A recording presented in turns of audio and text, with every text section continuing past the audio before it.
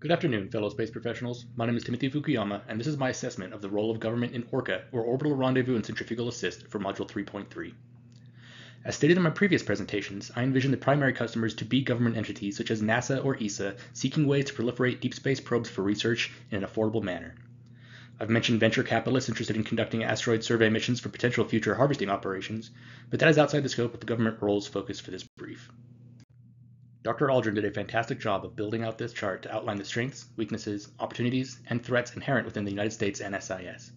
In the interest of not attempting to sound like I could do a better job than Dr. Aldrin, I will instead take his points and reflect on which, if any, have a direct impact to Orca development and operation. Obviously, that massive US government investment in space provides opportunities for funding new launch or launch assist systems such as Orca. The high R&D costs associated with a brand new idea that's never been utilized before necessitates taking advantage of such capital. Outside of direct government funding, the strengths of U.S. financial institutions as projected by the federal government provides further options for funding. Domestic political paralysis, or even the phenomena of incoming political cabinets completely reversing guidance and focus for their subordinate agencies, such as NASA, absolutely leads to the volatility of relying on government funding for development and contracting customers. Furthermore, since Orca is relying on customers to get their own payloads into LEO utilizing primarily small launch vehicles, the collapse of said market could have long-reaching impacts on the long-term viability of Orca. The opportunities outlined by Dr. Aldrin don't necessarily align with Orca's mission, so I will move on to threats.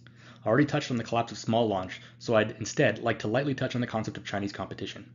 China's emphasis on increased space research and increasing their permanent presence in space will always pose somewhat of a threat to Western space operations and commercialization.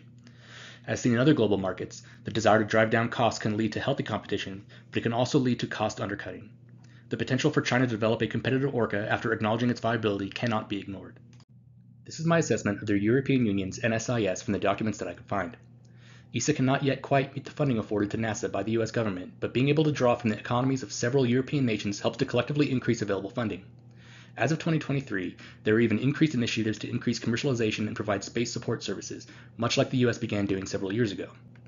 From a weakness perspective, one of the primary economies, formerly part of the EU, the UK, has some undefined roles and responsibilities with regard to funding ESA projects. ESA also tends to have few launch customers due to their focus on supporting the European region exclusively, outside of space research. Both opportunities are essentially offshoots of the Ukraine crisis, both due to the loss of Soyuz launches and the observed vulnerabilities of European communication satellites from hostile jamming and cyber attacks. ESA currently has some unaddressed launch deficits as they work to make up for the loss of the aforementioned Roscosmos contracts and the same threat of small launch market collapse. The European Union doesn't stand out as the largest and most advantageous customer for Orca during R&D, but there are still some avenues to consider. The growing budget for ESA is a potential justification to secure some funding, especially with their growing focus on deep space exploration and research. Regional support is definitely a negative consideration for Orca from evaluating the potential for individual European customers. As discussed with the US market, the collapse of small launch could be very problematic for Orca. From a regulation perspective, Orca will need to directly coordinate with several governmental entities that help manage and deconflict orbits for the thousands of vehicles already in space. In order to safely send payloads to various deep space trajectories, this coordination cannot be overlooked. As discussed earlier, government funding is essential to get Orca R&D completed.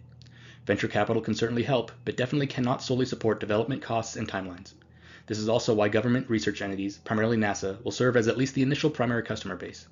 Finally, Orca cannot be developed in a vacuum, pun intended, but rather must be integrated early on into what the customers require from a technical and operational perspective.